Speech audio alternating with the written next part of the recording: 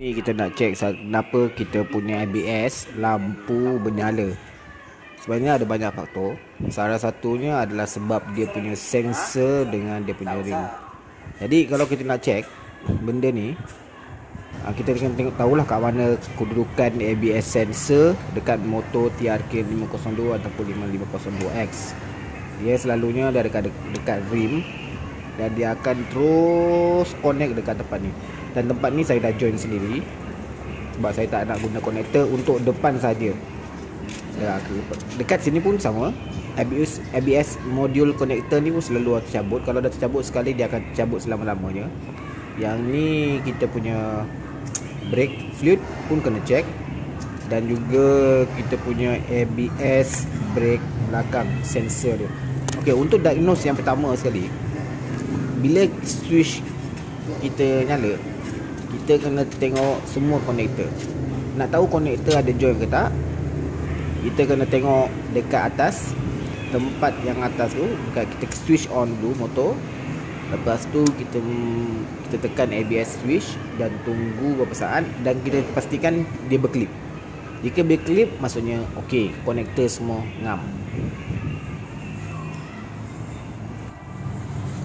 Okey, pertama sekali kita buka lah ABS sensor yang ada dekat belakang. Kita buka skru dia. Kan? Sekarang ni kita dah buka kita dah kasih clean lah. Tadi lupa nak record. Kita dah kasih clean semua. Kita dah letak cleaner contact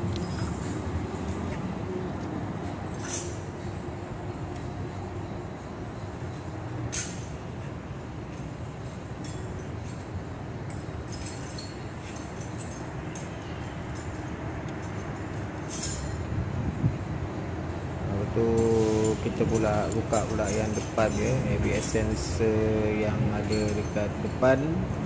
Kita guna Allen key yang depan guna Allen key. Yang belakang kita guna spana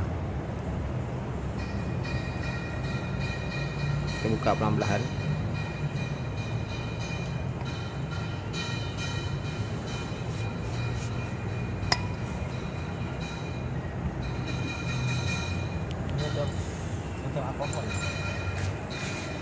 sejuk. Spray